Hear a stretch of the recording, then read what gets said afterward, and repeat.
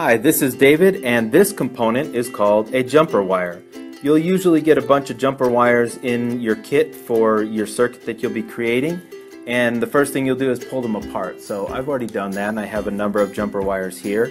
Jumper wires come in many different shapes, sizes, and colors, but basically they all do the same thing. And what they're used for is to jump the current from one location on your breadboard to another, or from your Arduino into your breadboard.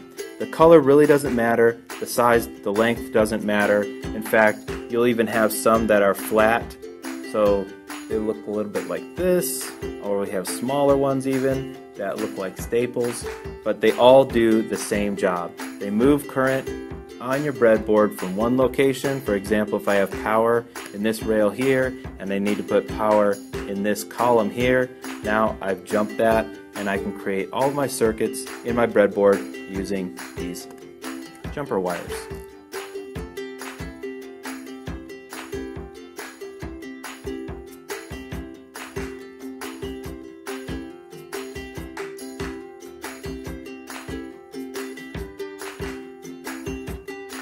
I hope you've learned something new. You can find more component videos and tutorials at creationcrate.com slash classroom.